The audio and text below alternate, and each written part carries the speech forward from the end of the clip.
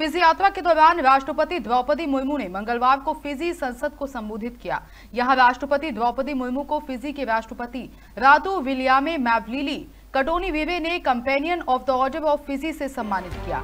इस दौरान राष्ट्रपति द्रौपदी मुर्मू ने कहा कि अपनी पहली फिजी यात्रा के दौरान मैंने फिजी के राष्ट्रपति और फिजी के प्रधानमंत्री के साथ सकारात्मक चर्चा की।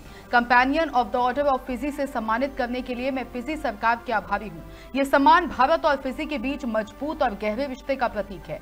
राष्ट्रपति Draupadi Murmu Fiji New Zealand और तिमोर लेस्ते की छह दिवसीय यात्रा पर रवाना हुई मुर्मू फिजी के राष्ट्रपति के निमंत्रण पर 7 अगस्त तक फिजी की यात्रा पर हैं।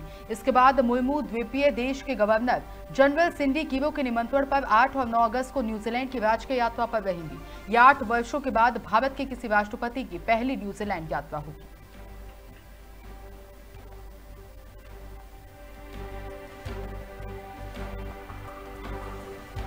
यहाँ फिजी में हूँ। इस खूबसूरत देश के लोगों की गर्मजोशी और स्नेह से मैं बहुत प्रभावित हूँ। हालाँकि ये फिजी की मेरी पहली यात्रा है।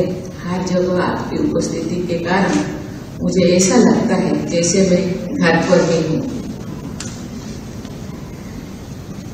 मेरे साथ हमारे राज्य मंत्री श्री जज कुरियन जी, साथ ही लोकसभा के दो सांसद श्री सौमित्री खान और श्री जुगल किशोर जी भी आए हैं और मुझे यकीन है कि वह भी ऐसा ही महसूस कर रहे होंगे। मैं ऐसे क्षेत्र में अपने भाइयों और बहनों से मिलने का अवसर देने के लिए फिजी के राष्ट्रपति जी और फिजी सरकार को मैं बहुत बहुत धन्यवाद देती हूँ। मेरे फिजी के राष्ट्रपति जी एवं प्रधानमंत्री जी के साथ सकारात्मक चर्चा हुआ। कंपनियन ऑफ़ ऑर्डर ऑफ़ फिजी से सम्मानित करने के लिए मैं फिजी सरकार को धन्यवाद देती हूँ।